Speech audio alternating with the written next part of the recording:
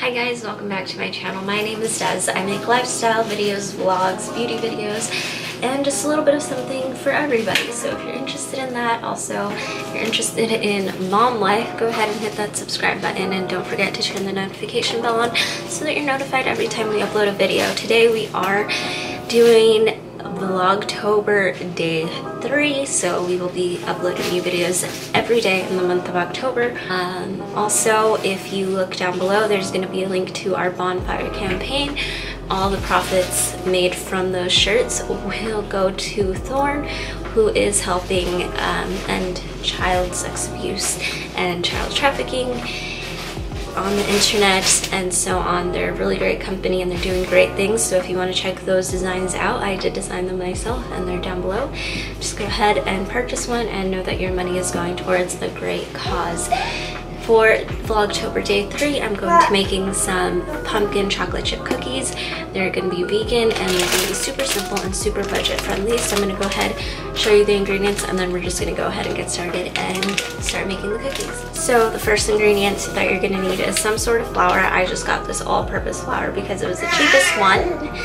I got some baking powder. This is just the store brand baking powder.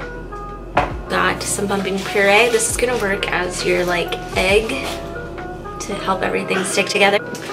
You're gonna need some sort of vegan butter, and then some nutmeg and some cinnamon. Um, you can also get the pumpkin pie seasoning, but uh, this is what I found and it was cheaper this way.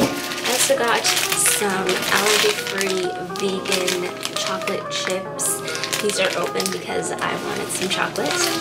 And then the last thing that you're going to need is some sort of sugar. Um, I'm just going to be using like some stevia and I have that so I don't need to buy anymore.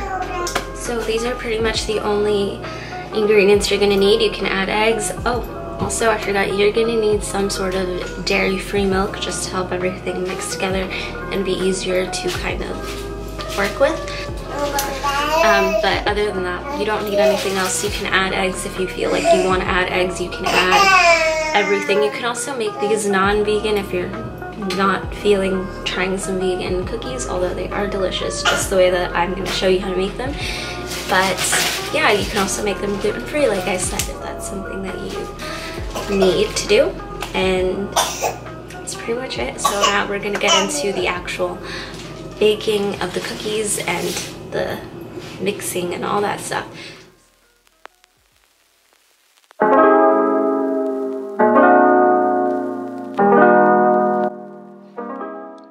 Start by adding two and a half cups of flour into my mixing bowl and preheating my oven to 450.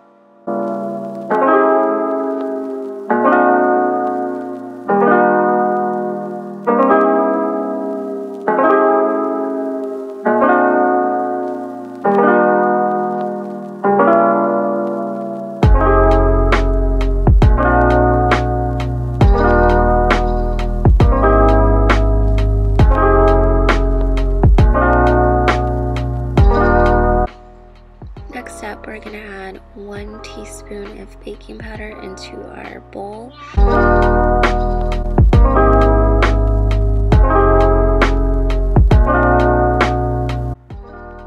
Next up, we're gonna eyeball some nutmeg and cinnamon in there. We can add more as the recipe goes on, but right now we're just gonna add a little bit so it's not too overpowering. And moving on to vegan butter, I'm going to add that to my measuring cup and I'm just going to put that into the microwave. I'm going to use about two big spoonfuls of it and just pop it into the microwave for about a minute so it gets all melted and then add it to our dry ingredients.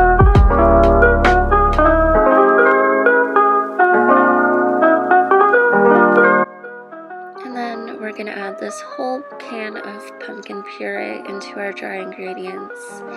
So you can use half the can or the whole thing. Like I said, I'm using the whole can. I'm going to pour myself about one cup of my dairy-free milk. I'm just using the oat milk. I'm not going to use the whole cup. I'm just going to add about half and then add a little bit more if my mixture is still too dry. After that, I'm gonna add about half the bag of the chocolate chips just so that I have extras to put on top of the cookies. And then we're just gonna start mixing.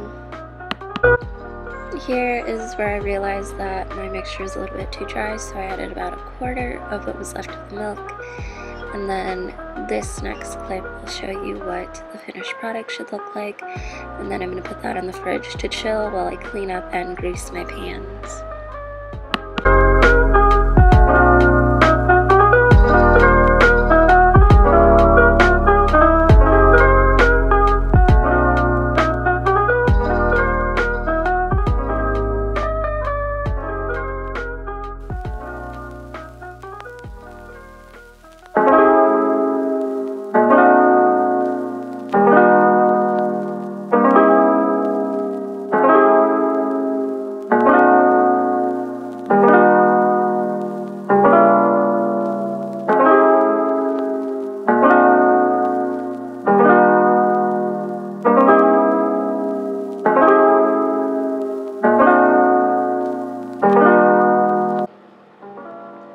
After about 10 minutes of chilling in the fridge, you're going to take out your cookie butter, put it into your molds. If you're using a cookie sheet, it's best to use a spoon or an ice cream scoop just to get the shape right. After it's all put in evenly, you can add more chocolate chips and then go ahead and pop it into the oven for about 15 to 20 minutes, checking periodically to know that they're done and cooked all the way through. The only thing that should be coming up on your fork, as you will see in the next couple clips, is just the melted chocolate chips. There shouldn't be any more cookie batter showing up. Um, so you'll be able to tell once it's ready.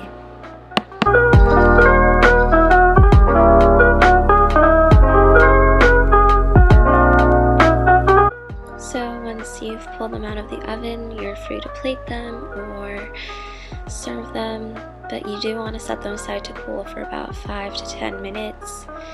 And then you can add dairy-free whipped cream, which makes it taste like a little pumpkin pie, or just serve them plain. They are best served warm, so every time you go to eat one, make sure you pop it in the microwave for about 15 seconds.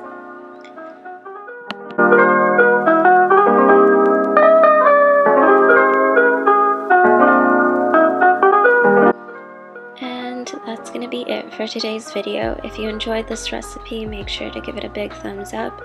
Don't forget to hit the subscribe button to see more videos like these. Also hit the post notification bell to be notified every time we post.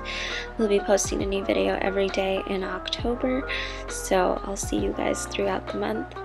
And also don't forget to check out our merch for Thorn to help a great organization and a great cause and I'll see you guys tomorrow. Thanks for watching.